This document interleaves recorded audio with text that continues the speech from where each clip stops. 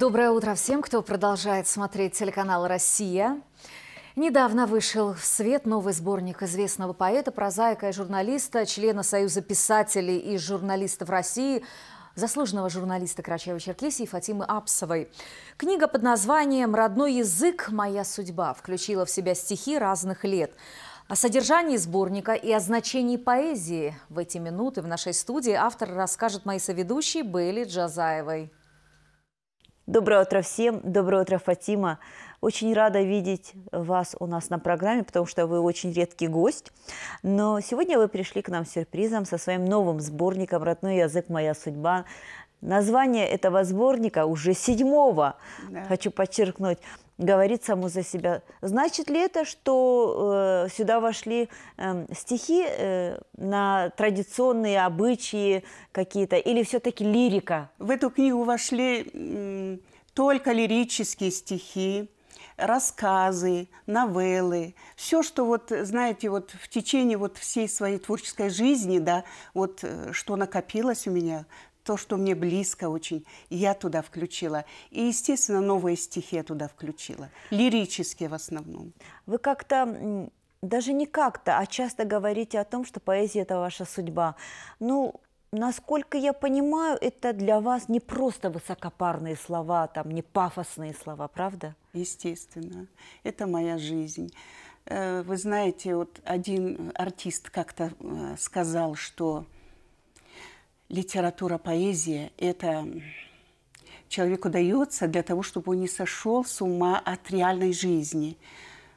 Конечно, поэзия – это моя жизнь, это э, духовное мое, знаете, лекарство. В нашей предварительной беседе вы говорили о том, что э, есть какие-то слова, стихи, которые вы бы хотели сегодня э, прочитать, выразить нашим зрителям. Да, у меня есть такое желание сегодня, с вашего разрешения, э, когда я училась еще в Литинституте, у меня творческим руководителем был Роберт Иванович Рождественский.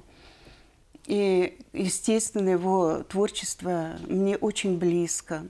И перед самой смертью он написал такие строки, которые я всегда читаю без, э, не могу читать без слез с вашего позволения. Пожалуйста. Я эти строчки перевела еще на абазинский язык. Тихо летят паутинные нити, Солнце горит на оконном стекле. Что-то я делал не так, извините, Жил я впервые на этой земле. И только сейчас я ее понимаю, К ней припадаю и ею клянусь, И по-другому прожить обещаю – если вернусь. Но ведь я не вернусь. Прекрасные слова. Это, да, это... Я не могу их э, так спокойно читать. И я решила их перевести на базинский язык и включила сюда мой, мой сборник новый.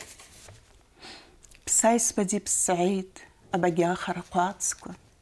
Амара нурку, кышчы цаягнып, исчпуз макаразын егум исызшыргӏвара аъа пычта сгӏабзазатӏ ари пнам. апны ауи йыздыргӏвацатӏ са йара уыжвжвыбрг садгылитӏ гупсыла, адуней ахьызла сквитӏ сгӏайхуазтын зны заманкӏ сбзазуаш А вас зынгьи зынгьи сшгӏамихуаш збитӏ Мне остается пожелать вам дальнейших творческих успехов и, и поблагодарить за то, что вы нашли время и пришли сегодня к нам в гости. Спасибо, спасибо вам. И вам спасибо, что пригласили меня. Спасибо.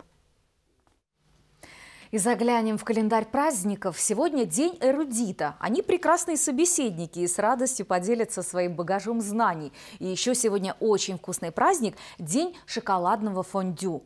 Вы скажете, ну и что? А я вам объясню, что вы можете насладиться фондю у себя дома. Для этого растопите шоколад, возьмите банан или яблоко и кусочки фруктов окуните в шоколад. Поверьте, очень вкусно и настроение у вас появится на целый день. А впереди еще и выходные. Так что есть чем заняться. Новый информационный день продолжает свое вещание на телеканале «Россия-1». Ровно в 9 смотрите программы «Русская редакция» в 14.30 «Вести» с Аллой Динаевой. Удачной вам пятницы, приятных выходных и до встречи в эфире.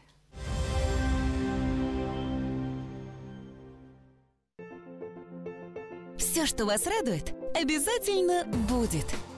С кредитом наличными в Минбанке. Возьмите кредит до 2 миллионов рублей по ставке 6,5% годовых. Оставьте заявку на сайте minbank.ru или приходите в офис Московский индустриальный банк.